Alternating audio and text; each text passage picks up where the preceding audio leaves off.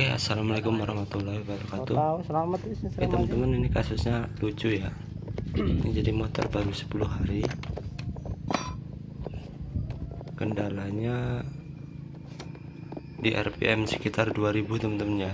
Jadi kalau dipetot itu di gas itu di bagian belakang siwitnya ada suara tek tek tek gitu teman-teman. Jadi kalau analisa dari saya ini kampasnya teman-teman kampas peludunya nyelah ya sebenarnya tapi lucu ini teman-teman. Motor baru umur 10 hari dari dealer. Oke tidak perlu lama-lama kita bongkar.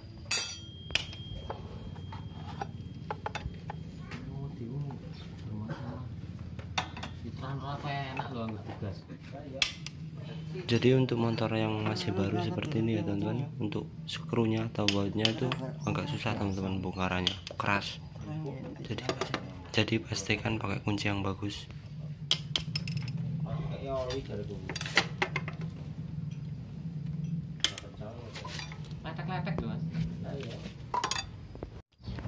oke ini untuk bagian dalamnya teman-teman.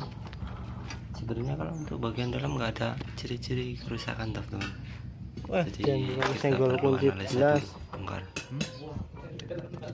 oke jadi masalahnya di sini teman-teman ini berbunyi ya. Tek, tek, tek, tek. Jadi, oke untuk solusinya seperti ini teman-teman. dikasih lem ya tipis saja teman-teman. Jadi fungsinya lem ini biar nggak ada selah antara apa untuk dudukan dengan kampasnya teman-teman. Jadi untuk pemasangannya tunggu kering dulu ya teman-teman. Sampai kering. Nanti baru kampasnya dipasang. Tapi penak kok. Oke sih asli. Iki mburi desa iki. Di rumah oke diberi kan. teman-teman atau stemplet ya untuk menghindari gesekan. Jajal ning gedang-gedangan lho.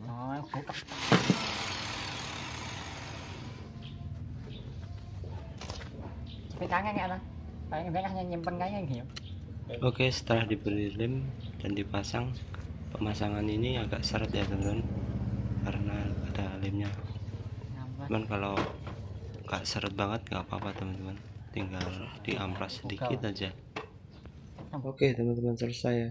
Jadi setelah diberi lem tadi, kita lakukan pengetesan, suara sudah tidak ada teman-teman. Jadi sembuh untuk masalah.